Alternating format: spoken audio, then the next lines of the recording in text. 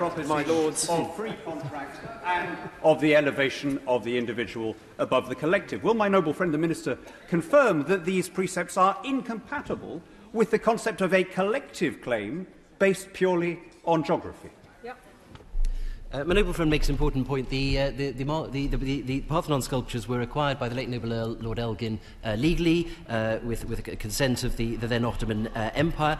Uh, the, the, the, the, the, the, the British Museum uh, is always happy, and its trustees have made clear, uh, to consider loans uh, to, to museums which recognise their legal ownership